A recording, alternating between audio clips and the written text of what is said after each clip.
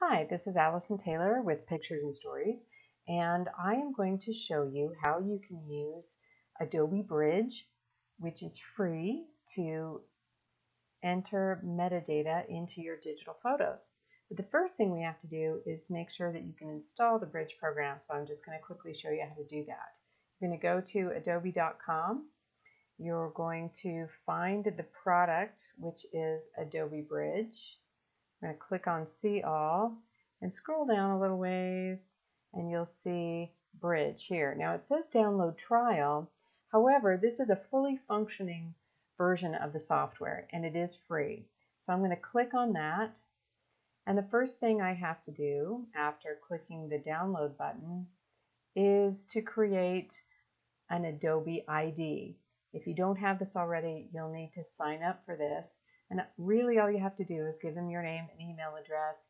You'll probably get some emails, um, marketing emails from them, but you do not have to put in any kind of credit card information.